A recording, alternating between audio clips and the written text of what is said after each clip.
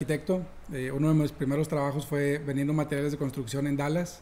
Eh, y en esos viajes en Dallas, en el 2013, si no me equivoco, eh, los clientes de allá me empezaron a llevar a, restaurantes que eran este, completo el estilo de, ahumado tejano. y fue para mí como un, despertar de, de, decir, wow, ¿dónde, ¿dónde había estado esto toda mi vida? ¿no? y de ahí hacia hacia varios años más adelante, tuve la oportunidad de trabajar en, Dallas y después en Houston. Eh, fue como un, como un, gusto que fui desarrollando de, ir buscando lugares de, de, ahumados para, para, conocer, para probar diferentes lugares. Eh, y, y, en realidad nunca me preocupé por cómo lo cocinaba, ¿no? Tú, llegas, este, ahí ya lo tienen todo listo y, y sabe delicioso y excelente, ¿no?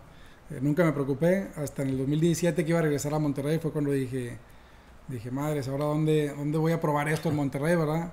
Yo no sabía que ya había alguien haciéndolo. De haber sabido, a lo mejor ni me hubiera tomado la molestia, porque cansar, hacerlo es muy cansado. Pero bueno, compré mi primer ahumador, y llegué a Monterrey eh, y junté a toda la raza, toda la familia, oye, vengan, vamos a hacer unas costillitas, ¿no? Este, no quedó muy buenas, la verdad, pero ya había visto videos y todo. Aún así no quedó muy bueno, eh, pero pues al menos yo tenía ya la idea de, de cómo, cómo debía saber. Este, y pues la práctica constante fue lo que poco a poco me fue eh, haciendo mejorar en ese estilo de, de ahumado. Y el, y el, negocio que hoy tenemos en realidad ha crecido eh, económicamente de, la misma ganancia que ha ido dejando el negocio. Nosotros no tenemos inversionistas por atrás que le hayan puesto dinero o alguien que nos haya prestado para, para cambiarnos a un lugar más grande, nada, ¿no? todo, todo fue creciendo de, de la misma venta que iba dejando el lugar.